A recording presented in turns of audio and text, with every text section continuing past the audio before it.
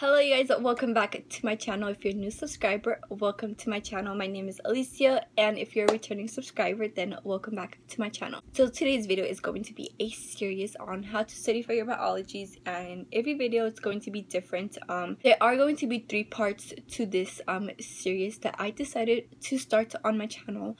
So basically today's video is basically going to be me giving you guys tips and tricks on how to study for chemistry and then the other two videos is going to be covering on a AP1, AP2, and of course microbiology.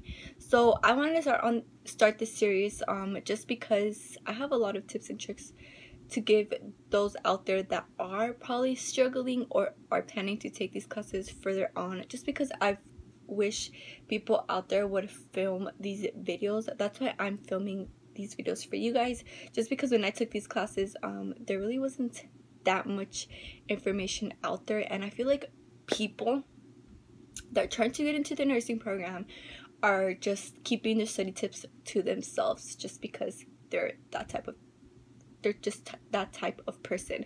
Please don't be that type of person when people out there ask you how you studied, not want to answer them. Um, because I would go through that literally a lot. Like I would ask someone how they studied and they just would not tell me. Like I know getting into nursing school is competitive, but I feel like when it comes to studying that we should really all help each other out because I know we all all of us are really just trying to get into nursing school. So that's why I just decided to do this series on my channel just to help those out there and for you if somebody asks asks you how to study and stuff like that then you just basically give them advice advice and stuff like that. So if you want to know more on how I study for chemistry, some tips and tricks some tips and tricks on how I survived that class, then, then please keep on watching. So like how I told you guys, um, I took chemistry. It was twice a day for three hours. Um, I had a lecture on Monday and lab on Wednesday. I did have two different professors, so I feel like that helped out a lot just because um because we would have two different teachers. They both have had different teaching um styles. So I feel like that also helped out a lot. So I'm going to be showing you guys my textbook first. Um, this is the Chemistry and Introduction to General Organic and Biologic Chemistry 12th edition by Timberlake. So this is my textbook and of course it came with the access code. We did end up using the access code online just because that's where our homework was and basically our practice questions were. So as you guys can see, um, I would color coordinate the sections by my exam. So my first exam, I would color coordinate it by a certain color, and then my next exam, a different color, my third exam, different color, and so on. The good thing about this chemistry class, the professor that I had, was that our final was not cumulative.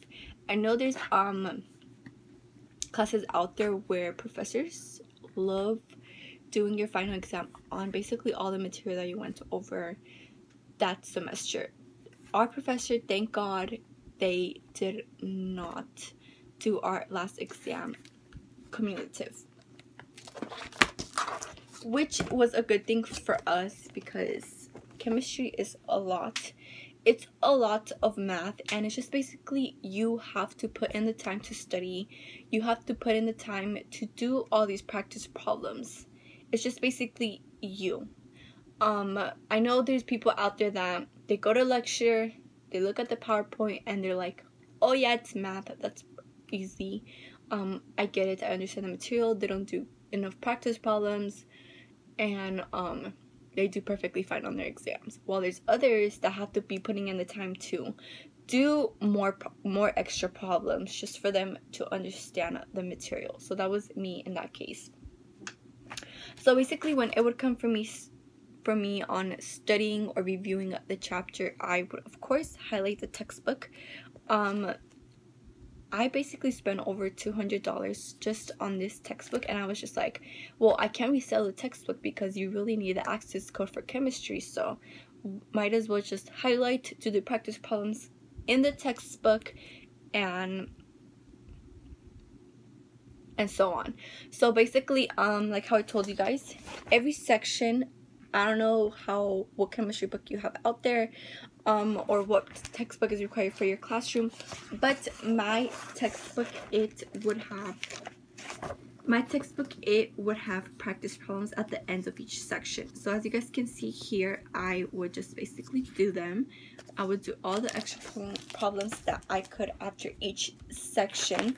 Um i know that sounds like a little bit crazy but i'm telling you guys if you re review your chapter or whatever chapter you're going over with you review it you do you do the end of the end of the section practice problems you will be perfectly fine when it comes to taking chemistry. Um just because you are like i told you guys to do practice problems you could be doing the homework that you might have online that's also practice problems. You're just doing practice problems practice problems practice problems for you to understand the material. And i feel like like how i told you guys when it comes to this class you just have to do lots of practice problems and you'll be perfectly fine when it comes to you taking your exam. If you're not going to be putting in the time to do the practice problems and of course you're not going to be doing so well. So i would do that. Um, i would do the end of the section practice problems. And of course I would do the end of the chapter extra problems. I would basically just do the whole entire chapter's extra problems from top to bottom. And of course I would highlight anything that's important anything that I didn't understand. And if I didn't understand it then um if the homework didn't make sense the chapter doesn't make sense your professor doesn't really teach it really well then I would go onto YouTube. So there is this YouTuber that I would watch. He explains his videos really, really well. He does an example problem. He explain he explains it step by step. And you know, if you're watching YouTube videos, of course you can pause and redo the problem until you fully understand it. His name is Tyler DeWitt.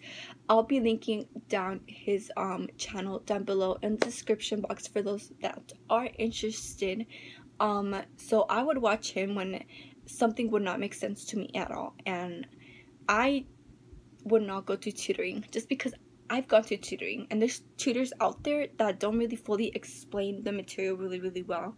They explain it their way. They explain it a different way.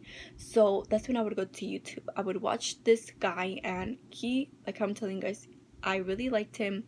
Really liked his videos, his tutorials just because the way he would explain it, he would do practice problems and so on. Um, I think he had my whole entire textbook of chemistry on that YouTube channel, so that's why I recommend you guys to watch him. I did not know about him until I literally just went on YouTube and searched up chemistry help.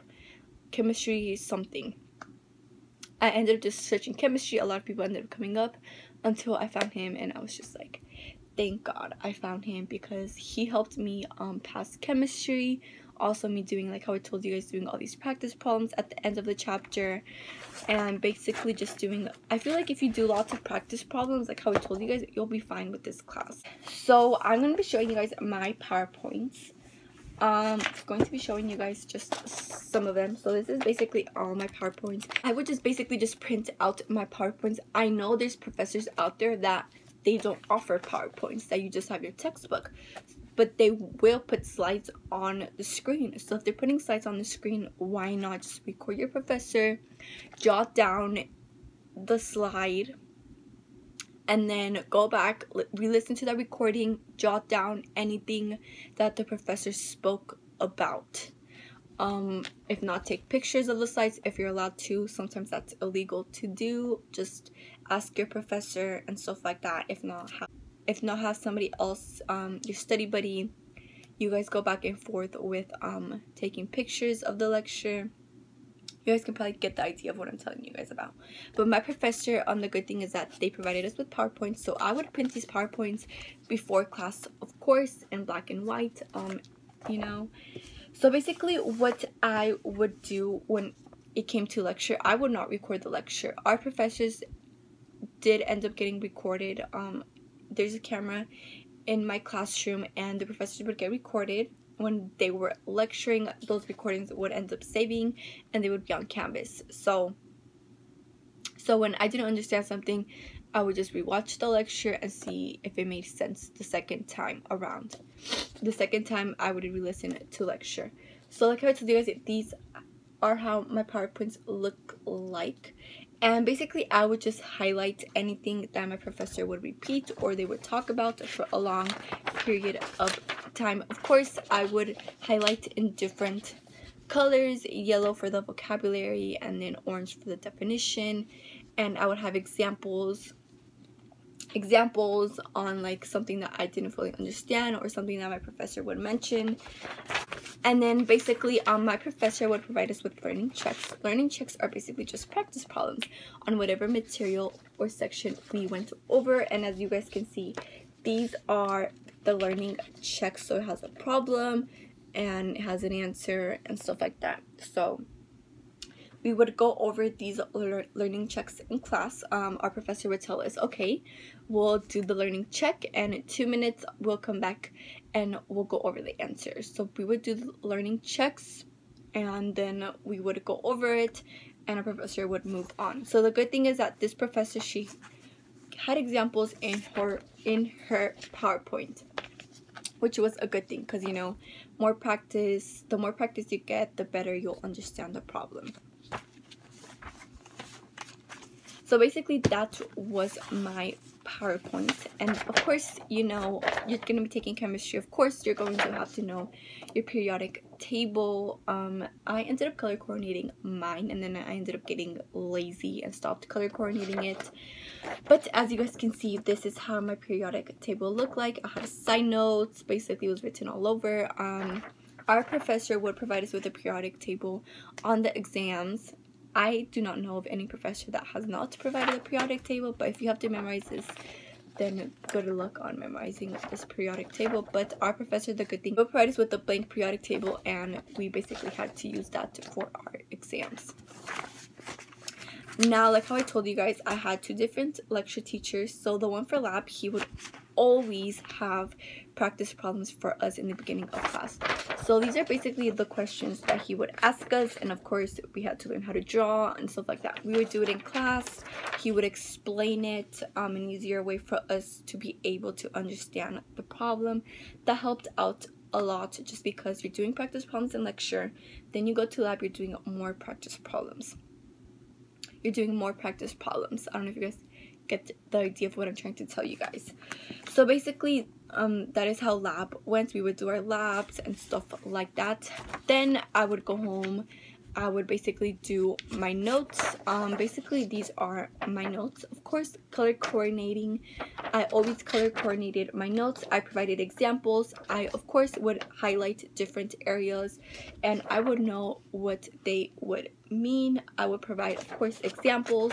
So I would do my notes is I would read the chapter or just review the chapter, skim through it, and I'd be like, okay, I understand it. Then I would go back to my PowerPoint, write down everything, and any examples that our professor told us to, any examples that our professor gave us, um, things that we needed to really know for the exam, stuff like that. I would have them in my notes, and as you guys can see, color coordinating is your best friend. Everybody does their notes differently. Some people do them on the computer. I feel like when it comes to chemistry, you should really write down your notes. Like I'm telling you guys, practice makes perfect, and you know you it's chemistry is a lot of math. The first half of chemistry is math.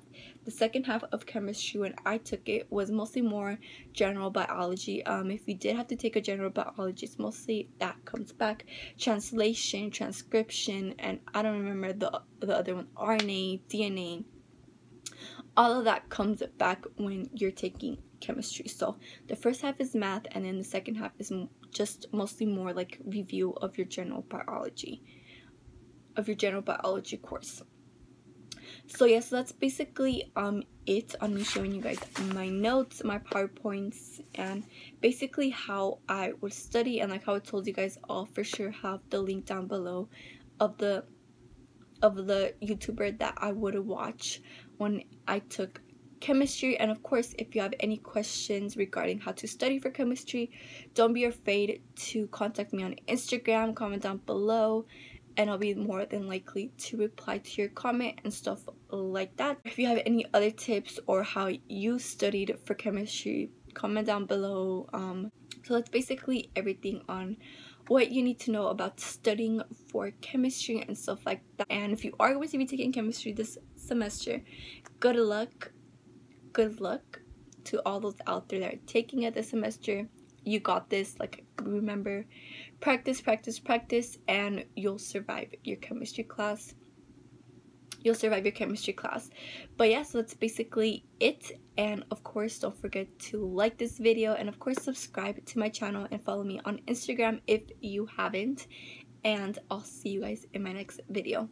Bye, you guys.